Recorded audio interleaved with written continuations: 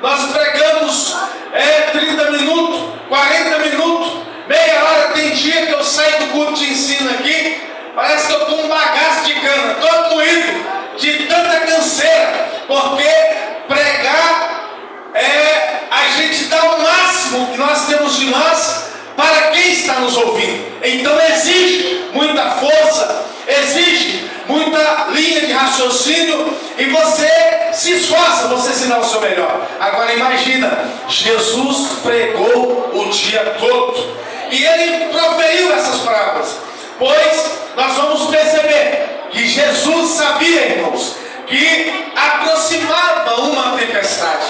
Jesus sabia que a tempestade era certeza que ia deparar com eles naquela embarcação, pois fazia parte da experiência, ou podemos dizer, de uma aula que ele estava dando para aqueles discípulos naquele lugar.